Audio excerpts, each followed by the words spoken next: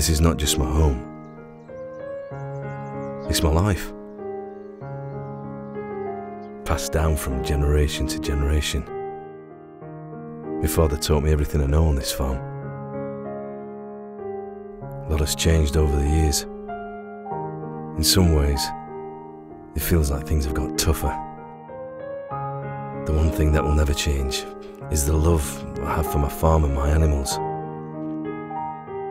Sometimes it feels like that's all you've got. Our cows give us everything our family, our future. It all comes from them. Some of these girls have been with us even before my daughter was born.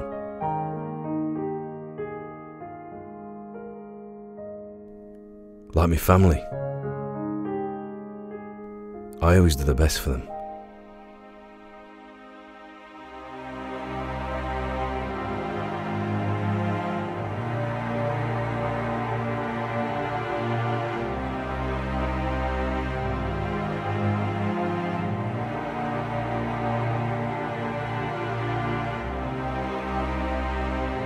Sometimes even that's not enough.